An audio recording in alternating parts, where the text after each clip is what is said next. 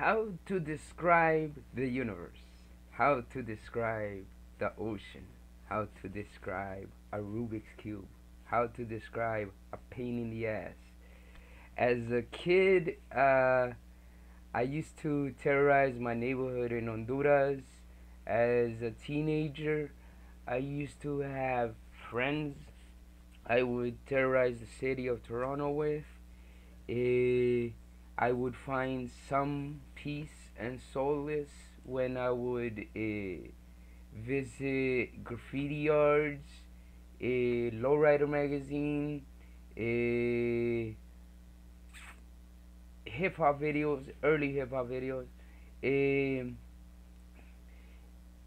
uh, video games, uh, skateboarding, the radio, exercise uh, I want to be a professional trainer uh, through different circumstances in life and various situations.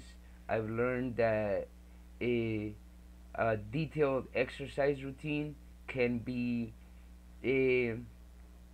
taken to a depth and a detail that can be beneficial to a personal to a person's personal uh, and individual needs, and uh, to to further my my attempts at that goal, uh, I've taken a part-time job at a, a MMA gym that used to be called Tap Out. It's called a hardcore gym, Pico and Hill, in the downtown area of LA.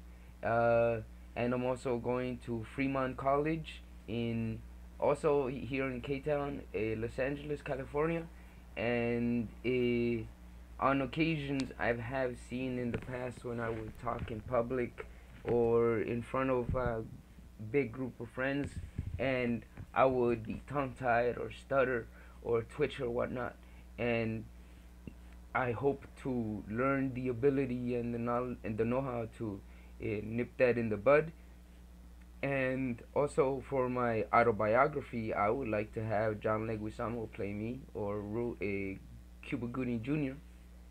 And how you digest that and take that straight to the head is on you. Legs and thighs, peace, one.